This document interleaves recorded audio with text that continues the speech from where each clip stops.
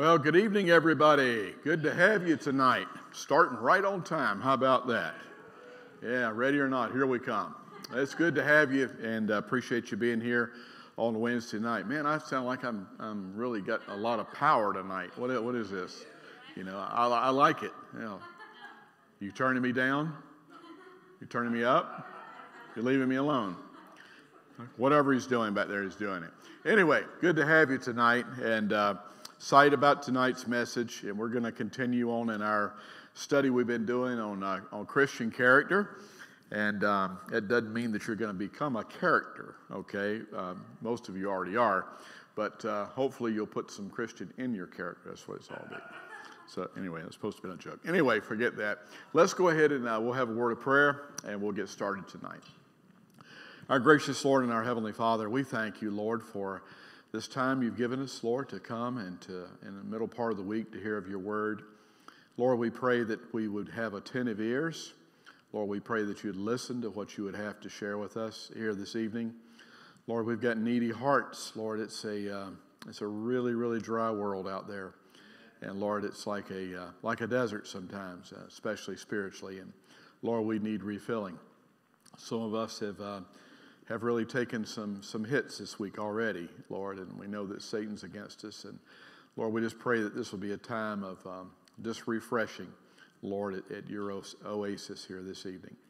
Lord, we ask that your blessings be upon also Pastor Brian as he's in the back with the discipleship group. And Lord, and the kids tonight, the students, everything that's going on on this campus, we pray that you just be with us. In your name we pray. Amen.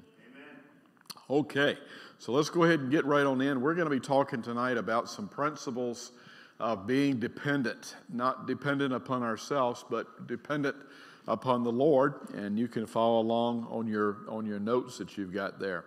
First point says, we need to learn to follow the leader. We need to learn to follow the leader. I don't know if your upbringing was like mine, but I can remember I was I loved to play sports when I was growing up, and uh, loved to play right on in through high school and everything like that. I was a sports nut. I played baseball. I was a, I was a catcher for a little league and, and senior league and high school all the way on up through. Um, I was played football. I was on the track team through shot put and the discus, and I was on a wrestling team. I did a lot of stuff. Anyway, but I can remember that when we played sandlot ball, remember out there on the field, we always had to choose two captains because there was always two teams. And I can remember that more times than not, I was a captain. And more times than not, my best friend of 50 some years, he was usually a captain, unless we wanted to be on the same team and then we gave the honor to somebody else. But it, that's just usually how it felt. But until that time, until we just were nominated the captains, I remember there was always a big deal. Like, I want to be captain. No, I want to be captain. No, I want to be captain. And I've come to figure out that most people, they don't like to be anything else but the leader. They like to be the leader. Now, as you get a little bit older, sometimes you want to, you know, not be the leader. But when you're a kid, if you're headstrong, especially like I was, you want to always be the leader. You don't want to follow anything. So we still have that same problem sometimes as, as adults. And we say to the Lord sometimes, we want to be the leader. Now, we may not shout that out to Him. We may not put it on a sign and say it, put it up to Him and say, I want to be a leader.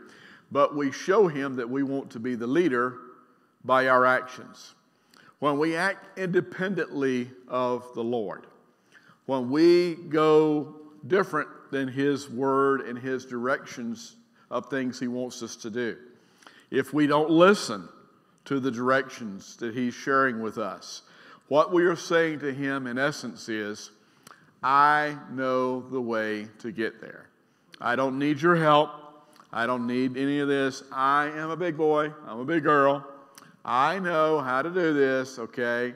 I've been a Christian for a long time. Thank you, Lord, but, you know, after all, I'm mature. I've arrived. I can handle this. Well, let me tell you something. You don't want to be that kind of Christian. You don't want to ever think that you have arrived.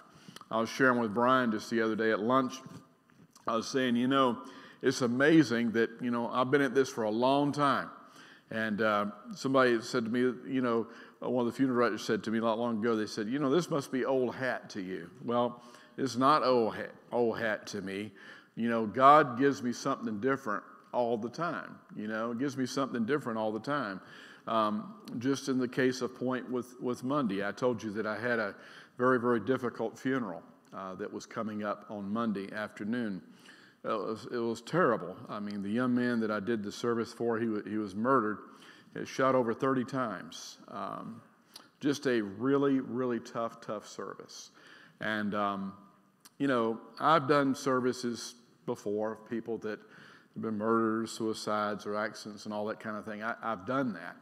But it's been a long time since I had have done one of this magnitude. And I just was really pouring my heart out before the Lord because I knew that there were going to be people there that were of the gang persuasion, a lot of people that were there. I also knew, you know, there was there was police that were there. There were people that were guarding. I mean, there's a lot of a lot of different things going on, a lot of different dynamics, as you can imagine. And um, so I just was really prayerful. I said, Lord, you know, um, I think, you know, as far as I know, this young man was a Christian. I don't know. I mean, I go by what people tell me, you know. Uh, try to find out. His aunt said that he was. I, I don't know. I, am not God. But anyway, um, she said, Pastor, um, here's what I want you to do I want you to give it to him. And I want you to give it to him hard. And I want you to give it to him straight. Pastor, I don't want you to pull any punches. I want you just to let it go. And I said, Yes, ma'am.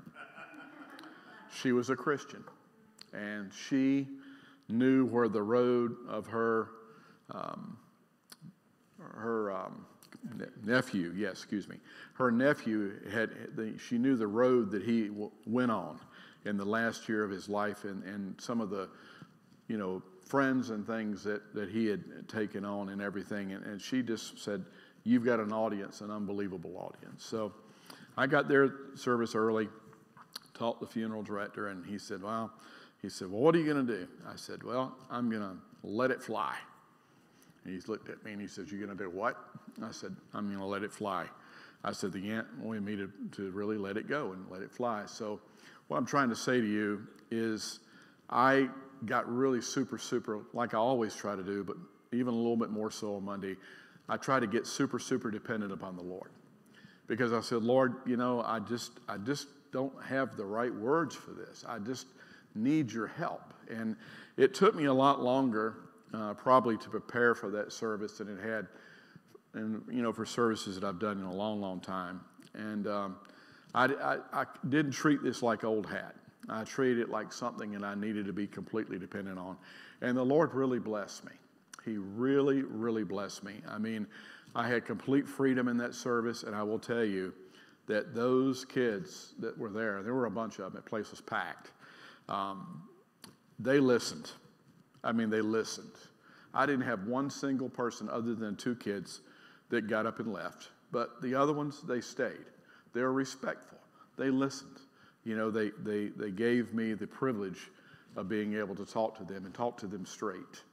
Talk to them about Jesus. Talk to them about salvation. Talk to them about choices in life and, you know, the element that's out there today. So, you know, I, I, I let it go. And uh, I walked out of there, and uh, the funeral director said, You weren't kidding. You really let it go. And I said, He said, But I'll tell you one thing. He said, They needed to hear everything that you said. Amen. So, you know, praise the Lord for that. A little off track there, but we need to follow the leader. I want to say there's two ways to, uh, if you are coming to my house, there's two ways that you can get there. One way is to, for me, just to give you uh, my address and for me to say, okay, you plug it in in your GPS and you come to my house. So, what would you have to do if I said that to you? Well, you would have to look at, that used to be, you'd have to look at a map. Maps are outdated, you can't find a map hardly anymore. But you have GPS, you know, you, you ask your whatever it is in your truck or car, and they send you to wherever you're going. Hopefully that'll be right. But if you follow those directions, hopefully you'll get to my house, okay? But you think about that in life. That's a picture of kind of walking in the flesh, and I'll get there in just a second of where I'm going in all this. But you follow the instructions of life, and then you, your success is predicated upon your ability to execute the plan. All right? All of us have plans in life. When you go to work at a place, they give you a plan. They give you a way to be successful in the job that you're in. So, what do you do when you follow the plan? You follow the plan that they tell you to follow, and your success is based on your execution of that plan. You say, Well, Pastor, where are you going? Down, down to the next point. Says, Character is a byproduct of dependency. I said there's two ways to get to my house. One of them is following the GPS that I give to you, but the second way is better. The second way is this that you follow me to my house. When you follow me to my house, I know where I'm going. Hopefully. I know where my destination is.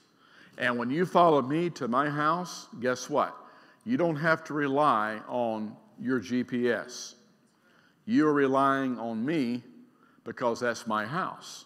So your percentage of arrival at my house, if you follow me, is going to be 100%. If I was in some wacky place, like I was following some direction sometime, I remember about a year ago, I was trying to go to a, a bluegrass festival. And the old boy said to me, he says, I'll tell you what there, Pastor. He said, if you're following that there GPS, he said, uh, it won't lead you to my house. It'll put you way on over here, yonder, over here somewhere. I mean, that GPS didn't even know where he was.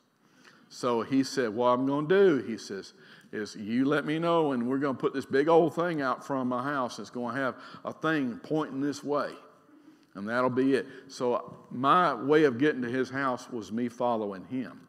If I followed the GPS, I would have never gotten there. So what does this have to do with anything, Pastor? If God is if God tells us to follow him, we better be following him. And if God was to tell us, you know, give us a list of do's and don'ts, he would have said, here's a map and get there the best way that you can and I'll see you at my house.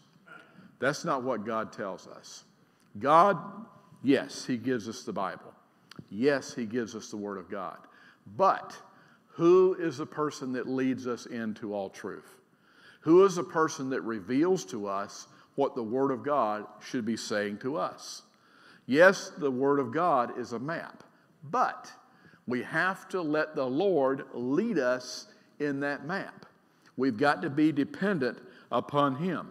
The only way to get to where God wants us to be is for us to be totally dependent upon Him and let Him be the one that we are following. When we say in our hearts or in our actions that we are the leader, that we are following us as a leader, we're in trouble, folks. We're absolutely in trouble because we think we know where we're going but we don't know where we're going. We have no idea where we're going. All right? Hey, we've been there, we've done that. The Lord says, listen, I don't want you to follow your own instincts or what you think is right. You better get the leader thing right. And I know we say, well, Pastor, certainly, I'm going to ask the Lord about every day. You know, I'm going to follow him. I'm going to follow him. No, listen. It's something that you and I have to determine to do every minute of every day. Because what Satan wants us to do in a subtle way is he doesn't want us to consult the Lord about our directions and our decisions in life. He doesn't want that. Why? Because he wants me and you to get off track in life. How does he do that? He does that through initiating or trying to get us to be prideful to say, hey, I'm a veteran at this, I know what I'm doing, and we don't consult him. What does that mean? That means that we need to make a conscious effort of saying to let the Lord direct our paths in all ways, Acknowledge Him in all ways. Acknowledge Him in everything, in all decisions the big decisions, the small decisions, the decisions in the middle. Always acknowledge Him, and He will direct our paths. He is amazing at showing us where there is road construction and things going on in our life that we don't see or potholes until we're right up on top of them. Amen? Folks, listen, I'm telling you, He's the bright beams. You ever use bright beam? You ever been driving down at night and, and you just something tells you to flip on the high beams, you flip on the high beams, and you see something in front of you that you wouldn't have seen if you hadn't had your high beams on? Last time I was coming out of Georgia, North Georgia. We were coming out of there at four o'clock in the morning. I know, I know better, all right? I've done North Georgia at four o'clock in the morning. You know what comes out at four o'clock in the morning in North Georgia? Deer. Deer. You better believe it. So, and bears, yeah. Scraped a bear one time. But listen, coming out of North Georgia, I had my, I was going along, I didn't have my high beams on. And I remember I said, hey, I better cut my high beams on. I had those high beams on no more than five minutes and I caught a deer right out there in front of me. Had I not had my high beams on, I would have smashed that deer. All right? I wouldn't have stopped to pick him up and make steaks either. But you know, it'd have messed me, it'd have messed me up, and I'd have killed the deer more than likely. But hey, I want the Lord to be my high beams. I want the Lord to show me things that are in front of me, and He can only do that if I ask Him. He's not going to show you if you don't ask Him. You know why? because He wants you to learn to turn on your high beams. Right? Right. Okay? That's what He wants. He says, listen, if you want me to be the leader, you're going to have to ask me. I'm going to wait. I'm going to be right here on the sidelines, and I'm not going to be the leader unless you ask me to be the leader. And he's, he does that because he wants us to know that pride comes before a fall. The one thing that's, that God hates, and it's in the word, He hates. He uses the word hate. That's a strong word. I hate pride. He hates it. He hates any semblance of it in our life. Why? When we are prideful, we are saying, in other words, get out of the way, I've got this. And believe me, if that's going to be your attitude and my attitude, and it has been my attitude sometimes, and if you're honest, it's been your attitude sometimes, listen, here's what God's done. He's crossed his arms, he said, Go for it. He knows what's going to happen. He knows. He lets us crash and he lets us burn. He does. You know why? So that we can learn our lessons in life. Amen. Sometimes we did that with our kids, didn't we? raising our kids. How many times did your kids tell you when they got to be, oh, I don't know, teenagers or something like that, they've arrived, right? 13, 14 years old, they know everything. I mean, we're a lot older, okay? We've done all this stuff, you know, been there, done that. We try to tell them something, they look at us like we are from Mars. They say thanks, but no thanks. And you know what we let them do? If you're smart, what you let them do once in a while? Let them do it. I mean, I'm not trying to say put them in harm's way and make them lose their life or something like that. But if they want to do something stupid, yeah, I mean, stupid, let them do it. Just go ahead and let them do it. And you know what? They'll come back and they might not tell you anything. They may not say, I wish I'd have listened or you're right. But you know what? They're not going to do it again. You know why? Because they learned their lesson. What did we do as a parent? We watched, didn't we? We watched. Hey, don't go so fast. You're going to get a ticket. Oh, oh. Nobody's going to get me. They get a ticket. They try to hide their ticket. Guess what we did? We've told them and told them, told them, so we just fold our hands. Next time, guess what? They're going to think twice before they have to pay a $300 ticket. Why? Because we crossed arms, we let them learn their own lessons. Same thing it is with God. It says in your notes, He's not just interested in our destination, He's interested in our journey as well. And let me go back and let me pick up a couple scriptures that I just completely left out. Look at Proverbs chapter 3, verses 5 and 6. Sorry, Robin. Um, no, excuse me, Robin. Let's go to Jeremiah 29 11. It'd be good if I got the first one, wouldn't it? For I know, sorry guys, I'm so fired up tonight. For I know the plans I have for you, says the Lord. They are plans for good, right? That's the way He always wants us to be, as long as He's leading the parade. He says, I'm going to give you good things, not for disaster. What happens when we're the leader? Disaster. To give you a future and to give you a hope. So God wants great things out of our life. He wants to give you the best. Do you believe that? He doesn't want second best, He wants to give you the best.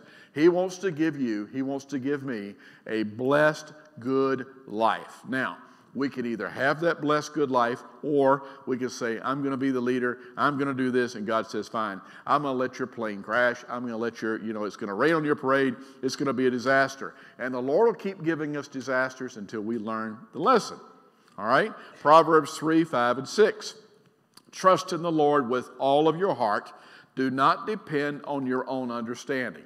Do not depend on your own leadership. You have no business, I have no business trying to be the leader. It's impossible. We don't know what's tomorrow. We don't know what's uh, in the next few, three hours here. Don't trust your own understanding. Seek His will. Let Him be the leader in all that you do, and He will show you what path to take. Amen. Amen. That's what He says. That's what He'll do. But again, that's dependent on you and me letting Him do what He wants to do because we are free moral agents. That's how we have built. That's how we were wired. That's how God wanted us to be. All right? He wants us to let Him lead because we want to let Him lead. Proverbs 19 21 says, You can make many plans, but the Lord's purpose will prevail.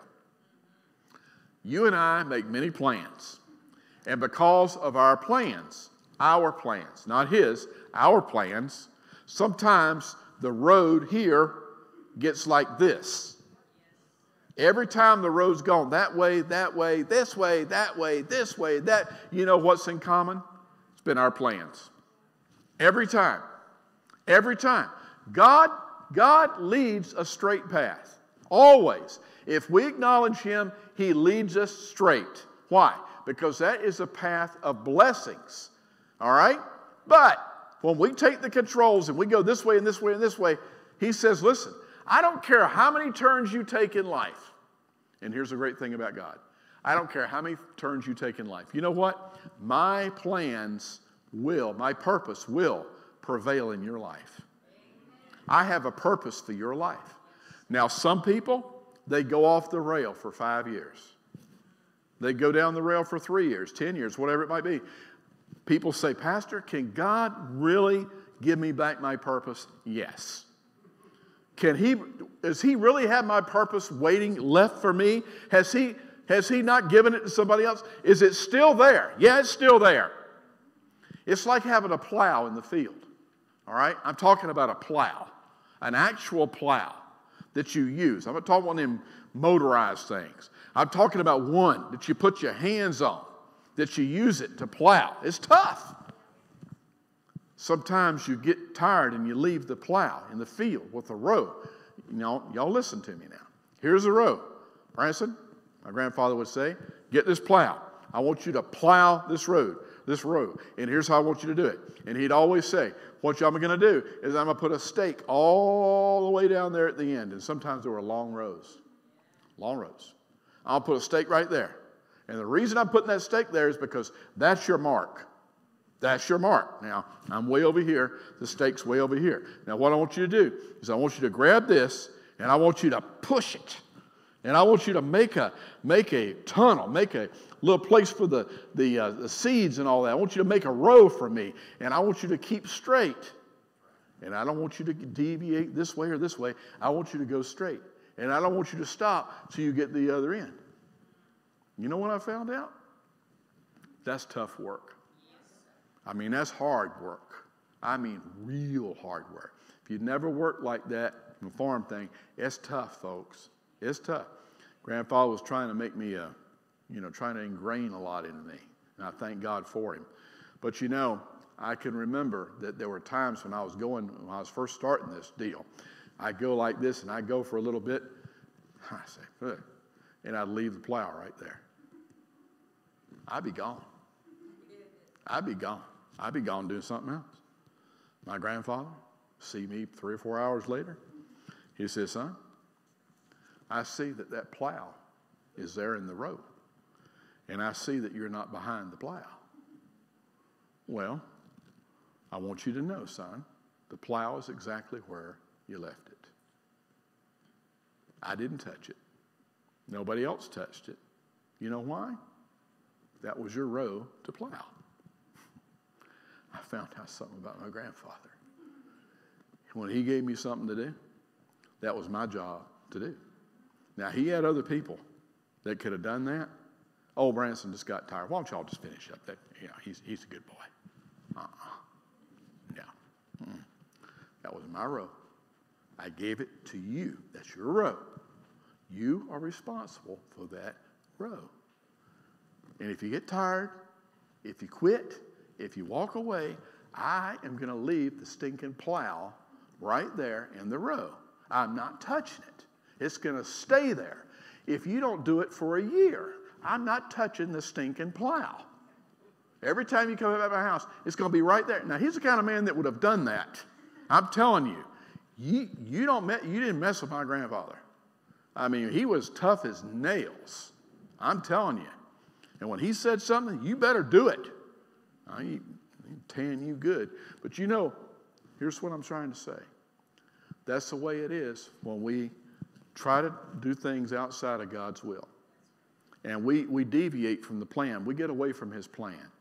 And we suffer. We have things, you know, that God allows in our life and we deviate. Here's what God is so good at doing.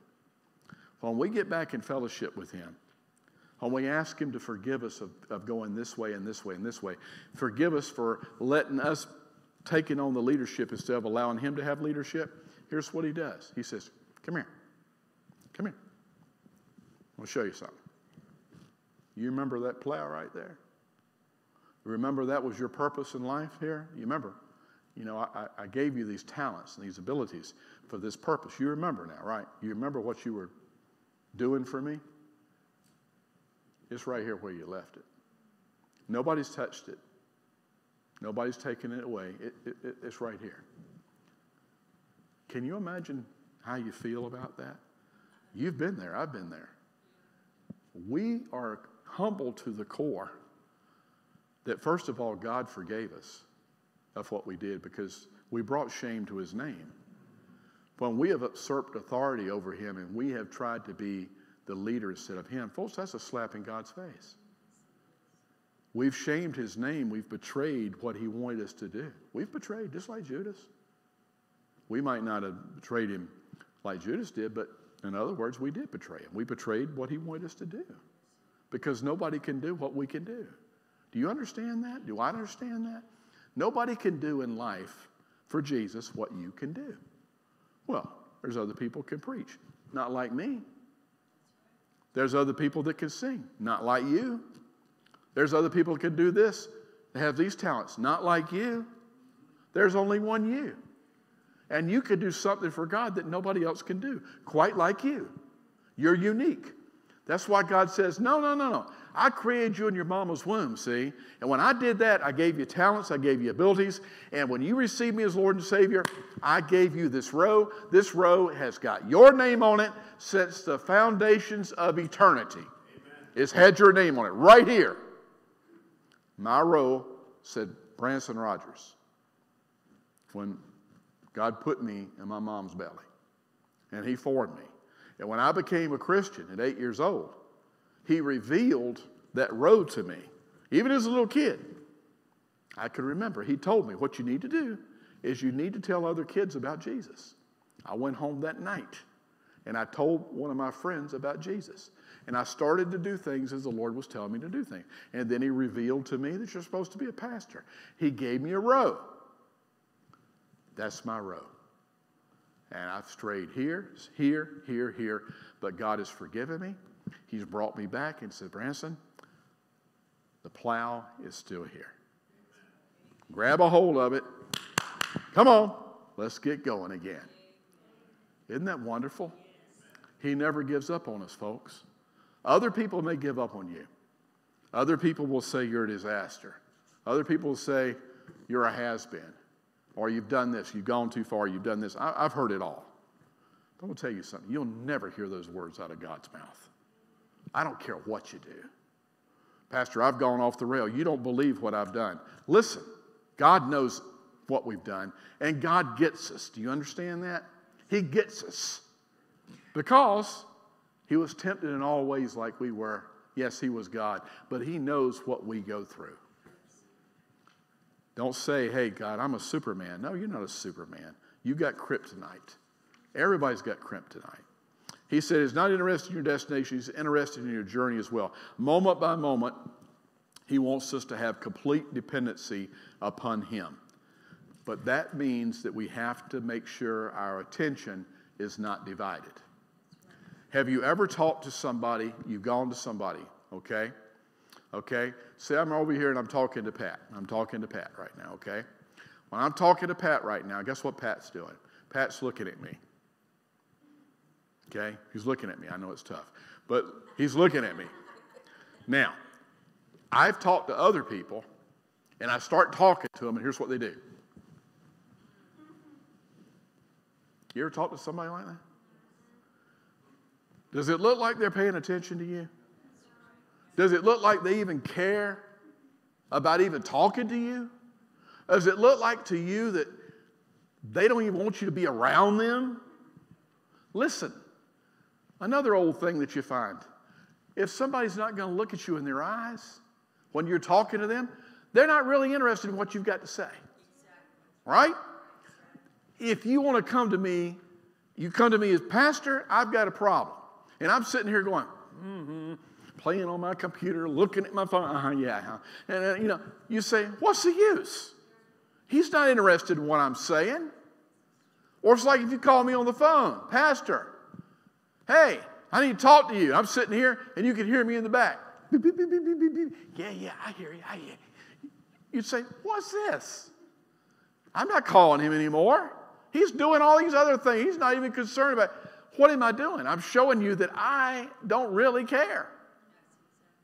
If you, if we are not looking at God, if He doesn't have our complete focus, you know what we're telling Him? We're not really interested in following what you've got to say. He wants our undivided attention. That's what he wants. You say, that is tough. Yeah, it is. It's the hardest thing you and I will ever do. You know why? Because we got everything, as I told you about in, in that series, Table for Two, we've got everything around us trying to get our attention.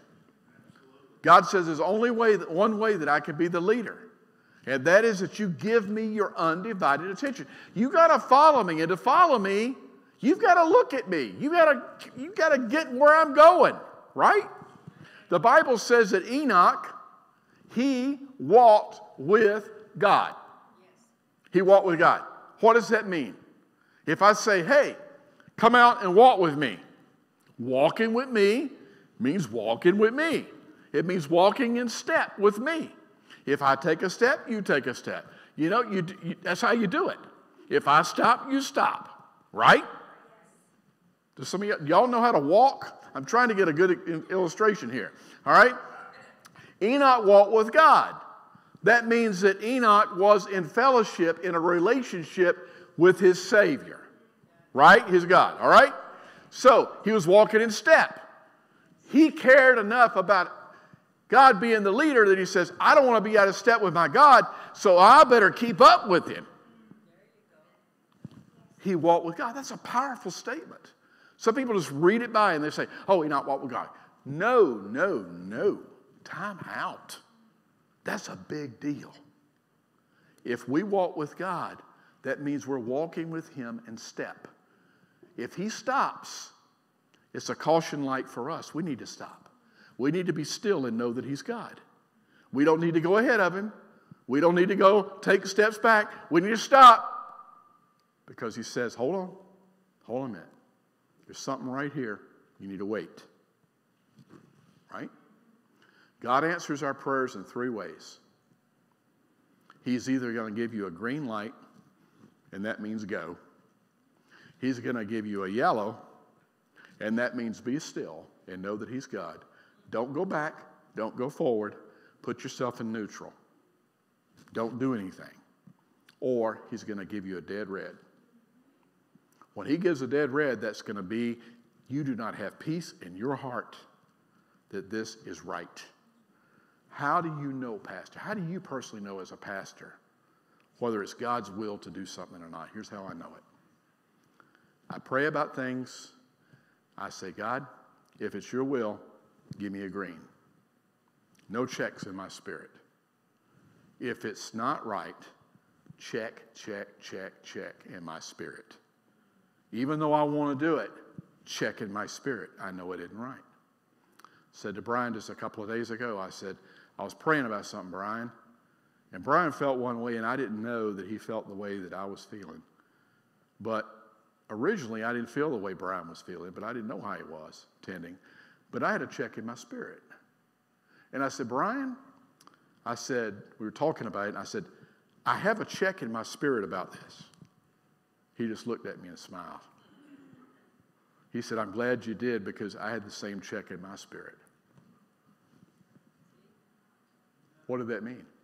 If I'd have gone ahead with that, or hadn't even consulted Brian or whatever, you know, I'd have done something I shouldn't have done. You know, the Lord said I'd have stepped on a landmine. All right? So that's how you do it. But he says, I'm not interested just in your destination, I'm interested in staying with you in your journey. God's goal for us isn't just to end up at the right place. His goal for us is to have a relationship with Him. All right? It'd be like if I said to you, hey, why don't you go to Atlanta Braves game with me? Would you like to go? Yeah, I'll go. All right, tell you what, we're going to go to Atlanta and we're going to watch the game. So I'll see you when you get there. Okay. I take my way, you take your way. We meet for the game. We have a hot dog together, we have a Coke, maybe get some peanuts, enjoy the game. See you later. You, you get up, you go this way, I go this way. We arrived at the same destination, but we didn't have a, a real relationship, did we? We didn't have real fellowship, right? We're all going to heaven if we know Jesus. That's our destination. He cares a lot about that, and we're very thankful that we're heading that way. We know our destination. But you know what? He wants us to have a relationship with Him along the way. And so many Christians say, Thank you, Lord, for saving my soul. Thank you, Lord, for making me whole, but they don't consult Him the rest of their journey. Folks, that's not what He wants. He's not as much concerned, He is concerned about our destination, of course, but He wants to have a relationship with us along the way. Why? He craves your love. Are you listening to me? Well, Pastor, that's stupid. Look at all the people around that love Him. Love? Come on. You just said, I don't know how many millions of people are probably Christians. Look at all those people loving him. No, they don't all love him the way they ought to. They don't. They don't love him the way they ought to. How many Christians are really dedicated to praying to the Lord every day, reading the Bible every day, consulting Him, letting Him be the leader, and them letting Him control everything, and them being in perfect fellowship, and them walking with God like Enoch walked with God? How many? What kind of percentage? Very, very, very, very, very, very low. When Jesus, when God got down in that garden and He was looking for Adam and Eve, you know, it broke His heart because He created them for fellowship. He created them for, for love. He wants to love on us. If you went weeks and weeks and weeks and weeks and weeks and your kid never called you on the phone, never reached out to you and act like you didn't even exist, would that not hurt your heart? Yes. Sure, it would. Do you think it not hurts God's heart when his, his children don't consult him about things? Sure, it does. Do you think it hurts God's heart when we, we don't read the directions and we think we can just make life as we want to make it? Or we don't ask Him in prayer? Only time we come to prayer is when we want something. Like our kids, the only time they come to us sometimes is when they want something. You ever listen to your kids? Do you have kids? Do you know what I'm talking about? I can tell. I'm not ragging on my kids, okay? But I could tell in the first, mm, let's see, 90 seconds, or maybe sooner, of what the call's all about. Dad, nice weather today. Mm-hmm. Dad, have you had a tough day? Huh? Hey, Dad, um, you know it's uh, been kind of tough around. Here we go. Hey, Dad, uh, can we? Uh, yeah, yeah, yeah, yeah, yeah, yeah, yeah. If that was the only phone call I got in six months, or if I got 10 calls in six months and all those phone calls were for Dad, can you give me this, Dad? Can you give me this, Dad? What would I think? They're treating me like a vending machine. Right? Same way it is with God. Same way it is with God. So many Christians, oh, I pray, Pastor. God, you know, I'm in a tight spot. I need a, I need a miracle. And then we get mad and we say, you know what? Pastor says we're always supposed to pray, and he didn't answer my prayer. Well, guess what? He was tired of you pushing the vending machine buttons. He actually wants you to say something else to him other than give me, give me, give me, give me, give me. It says in your notes, surrender is a sign of weakness. And when we are weak, he's strong. We don't want to surrender our title of being the leader. We don't like to give up the, the towel. We don't like to throw it to wave, wave the white flag. You know, the greatest strength, uh, the strongest person in this audience, or somebody watching, or somebody at the Point Church, the strongest person in here is a person that surrenders every single day. That's the strongest person. What are you saying? Wave the flag, baby. Best thing we can do as a Christian is to wave the white flag every single morning when we get up. And we need to say, I'm surrendering to your lordship. I'm surrendering to your decisions. I'm surrendering to your will. I'm surrendering. I do not want to do anything at all to run my life. I'm giving it all to you. I surrender. That goes completely against what this world would have to say. Everybody says, surrender. Are you kidding? I'll never surrender. I'm a. Listen, when we're weak, he's strong. When we think we're strong, we're weak. Amen? Bible says, let him be the leader, let him be strong. But for him to be strong, we have to be weak. We have to take the back seat. Following the leader is all about baby steps. It's like our children, when we had our kids, they crawl for months, okay? Then they put the arm up on their chair, all right? They're ready to take their first step. Then they just stand there and they laugh. Remember? Stand there and laugh. And then we start bribing our kids.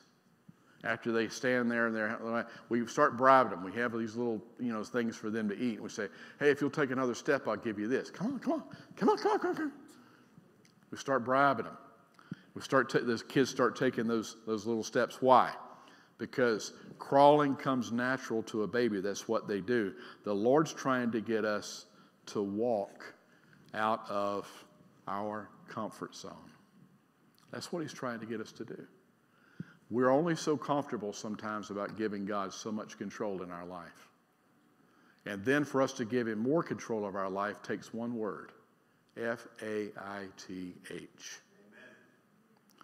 Peter had followed the Lord so far, okay? But then when the Lord was over here and he said, Peter, come here, and he was in the water, and he had to walk on the water, the Lord was trying to get him, said, Have you crawled long enough? What I want you to do now, I want you to, I want you to start walking. Let's do some water walking. Never had been done. Faith got him out of the boat. There were others that were in the boat, they didn't get up, they didn't do nothing. But Peter had enough faith to get up, stop crawling, and start walking. That's what the Lord wants us to do. What is what we've done? We've given the Lord so much in our life. Okay, that's great. But now we've matured a little bit in Christianity. Now the Lord says, okay, that's enough crawling over here. What I need you to do is I need you to start walking from here to here. But in order to do that, you're going to have to really trust me. You're going to have to have faith in me. All right? Do you remember? And I remember, and I've used this illustration before, of my little girl, Rachel. She's up on the, what called monkey bars. I don't know if that's politically correct to say that anymore, but I said it. All right? On the jungle gym monkey bars, going like this. When you're a little kid, you're about like that. Then monkey bars seem like they're a thousand feet up in the air, right? I had Rachel over here, and I was standing over here on the other, and I said, honey, what you need to do is you put one hand here, uh, next hand, next hand, hand. I figured out she wasn't going to go nowhere until I came over here and I stood so I was able to grab her if she fell. What I was trying to do is to teach my little girl all right, baby, listen, you've looked at this thing long enough. You've wondered how it would be to go from here to here long enough. You've, let, you've looked at this thing in awe. That's a mountain right there that you need to climb. So here's what I'm going to do. That's enough crawling. Let's go ahead and conquer this mountain. And what I'm going to do is you're going to have to do it, get up there, and you're going to have to have enough faith to put one here, one here, one here, one here. But I want you to know I'm not asking you to do this, or you're not going to be doing this without my protection. I'm going to be here because I'm your daddy. Y'all see where I'm going with this? That's the same way it is with faith. We get up there and we said, okay, I want you to trust me a little bit more about being the leader in your life. Here's a big decision. Here's an impossibility that you think is an impossibility, and God has given you a green light. What are we supposed to do? Are we supposed to sit back and say, I can't do this? No. We need to follow His lead and know, and listen now, listen, listen. God will not give you a green light that He's not on the other side of that green light. Are you listening? He will never lead where He will not protect where he will not be there to help us in our, in our decision. But it's up to us to step out, quit crawling, and conquer the mountains, one mountain after another mountain after another mountain. That's what the Christian life is all about. How many times have we stood on something and we said, There's no way I can ever do that? I'm not smart enough to pass that test. I'm not smart enough to do this. I don't have the abilities to do this. There's no way that deal's going to ever come through. There's no way this is going to happen. This is going to happen. We've stood there. God's given us the green light. You know what we've done? We've honored God. We've stepped out. And now we look back and we say, can remember that time. You know what the Lord said? Aren't you glad that you stood up and quit crawling and followed me and had faith in me enough to conquer what you just conquered? Amen. But that's only as good as our next little mountain that comes up. The life of a Christian is continually to stand up, conquer, stand up, conquer all the different things he has. Following the leader is all about baby steps. It doesn't happen overnight. Learning to walk physically or spiritually takes time. It's a process that involves many setbacks. When you first took your first step, or when I first took mine, guess what we did after that? We fell. What did we do after that? We got back up. What did we do after that? Fell. What do we do after that? Back up. When we're an adult, or even when you're a teenager, we have to make our mind up to get up. Amen? Quit sitting there, laying there after you fall down and start wallowing in your own depression and your old self misery. You know people, and I know people that are like that every time you're around them. You know why? Because they don't have, if they're a Christian, they don't have enough faith in God that God can get them out of what they're in. They are letting their circumstances, their situations, their bad decisions, their bad choices to define who they are. And that is not God's will. It's like I told those kids Monday night listen, don't say to me that I didn't, I was raised in a single parent or I didn't have parents or this culture is this way. and this culture, everybody around me is a drug dealer. Everybody around me is, is an alcoholic. Everybody's this way and this way and this way. So that's the way I am. No, let me tell you something. I can do all things through Christ that strengthens me. It don't make no difference how many drug addicts are around you. It don't make any difference what kind of parenting you had or lack of. Doesn't make any difference how many alcoholics around you. It doesn't make any difference what the culture is around you. They can all be gangbangers. What are you going to be, a gangbanger just because everybody else is? Or are you going to get up and be who God wants you to be? This culture has a hard time of understanding that. It really does. So that's what I share with those kids. Our pursuit of character has never, was never intended to be a solo flight. Being all you can be isn't going to cut it. Our motto as Christians ought to be, and I kind of put this down when you can't, he can. When you can't, he can. Old Dr. Watson used to be president of Trinity College. Love that old man. I uh, wouldn't be where I am tonight without his influence in my life. And he was a great mentor to Billy Graham. Knew Billy Graham so well. And uh, me and him had a special, special relationship that God just gave to me. And, you know, I could still, still hear that old man sing. And uh, he couldn't sing a lick. Honestly. Terrible singer. But I can remember he'd get in the pulpit and start of the new year in college, he would always sing the little chorus, He's able. If you don't know that little chorus, you need to look it up. And it kind of goes like this, and I ain't going to sing it because I'm a worse singer than he was. It goes, He's able, He's able, I know He's able. I know He's able to carry me through. He healed the brokenhearted. He set the captives free. He made the lame to walk again and caused the blind to see. He's able. He's able. I know He's able. I know He's able to carry me through. Dr. Watson was the greatest man of faith I've ever known in my whole entire life. That man could pray like nobody else could pray. I'm serious with y'all. He could pray heaven down. Never heard anybody like him. Never will. Man of faith. And he'd always say, walk in the halls at the school. You come up to him and say, How you doing today, Branson? Well, Doc, I got something going on in my life. Well, he's able, son. And he'd take my hand. He'd pray for me right on the spot. He didn't ever say to you, Well, I'll pray for you. He said, Dear Jesus, right now, I pray that you would just intervene in this young man's life. I mean, telling you. Telling you now. He was from Lumberton, North Carolina. You don't mess with him. He was an old backwoods country man. Used to pre- preach in tent meetings, man, the sawdust trails. Whew. But I remember that old man.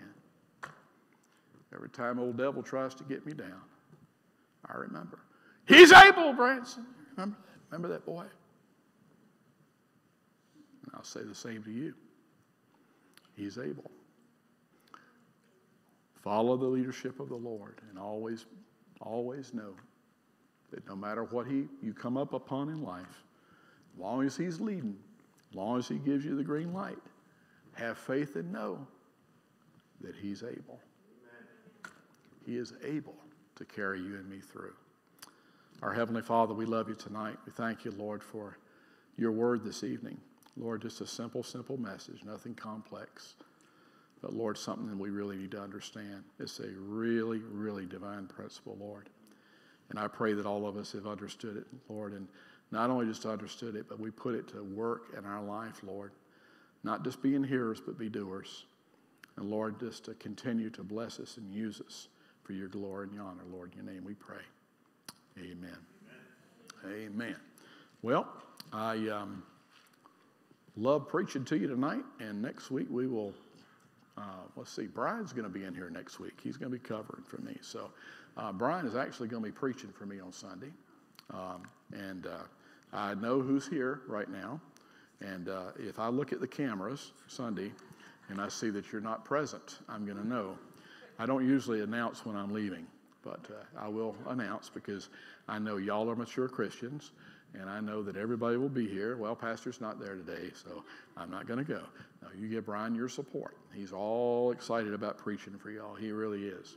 And uh, so I'm really happy to have him preach. And, and then he'll be having the message with y'all next uh, week in here. He's going to let Trish handle his class back there. I am going to the mountains to kind of refresh, regenerate a little bit, and uh, get up there still in the high 40s up there where I'm going. So I'm looking forward to it. So be gone for about a week or so. If you need anything while I'm gone, just go ahead and give Pastor Brian a holler.